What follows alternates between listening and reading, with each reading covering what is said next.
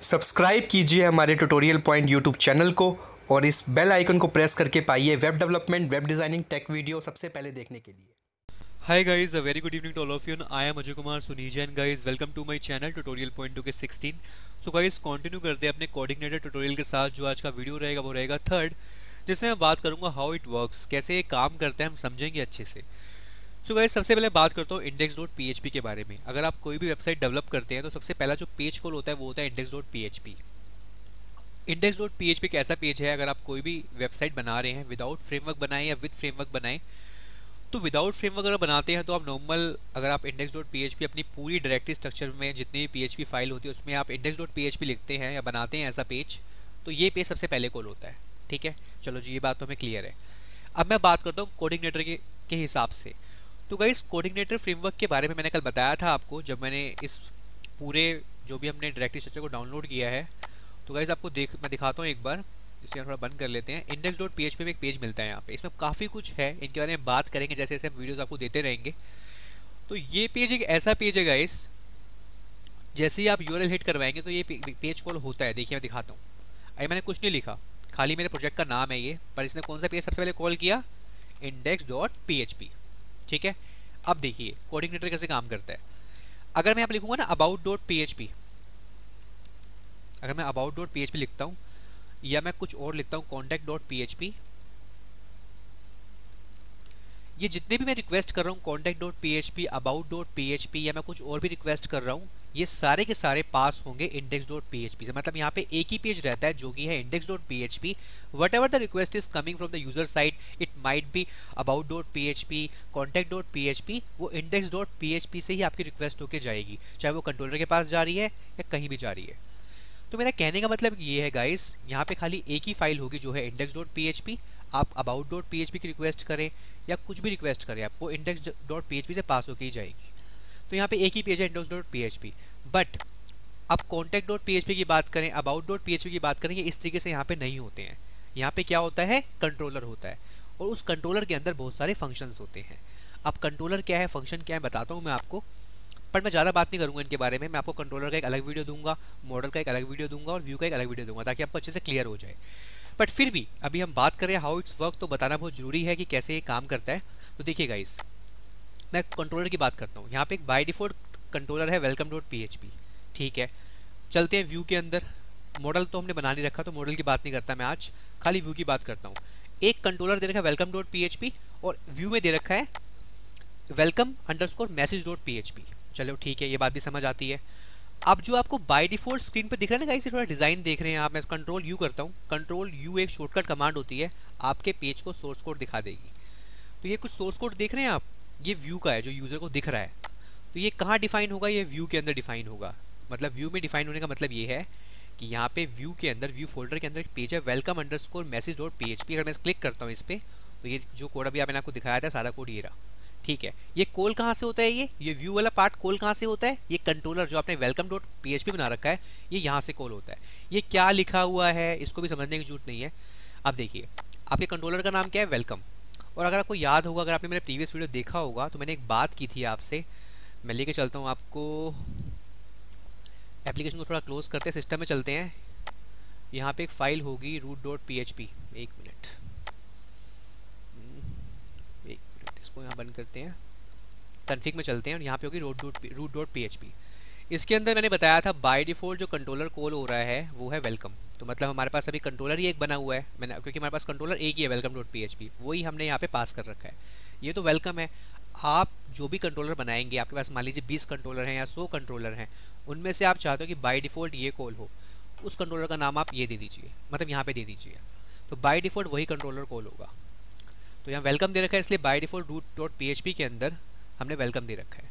चलो ठीक है, ये बात समझ आ गई, हमें कन्फिक बंद कर देते हैं चलते हैं कंट्रोलर के अंदर। अब वेलकम डॉट कंट्रोलर जो है, आपकी वेलकम डॉट पीएचपी उसमें एक कंट्रोलर है वेलकम अब ध्यान रखिएगा, जो आप नाम, जिस नाम से आपका फ़ाइल का नाम है, वही कंट्रोलर का नाम दीजिएगा ताकि आपको क्लियर रहे। तो वेलकम समझ आ गया वेलकम मेरी क्लास है, जिस मतलब वेलकम डॉट पीएचपी और रूट डॉट पी में हमने बाई डिफ़ॉल्ट कौन सा कंट्रोलर कॉल कर रखा है? वेलकम ही कॉल कर रखा है।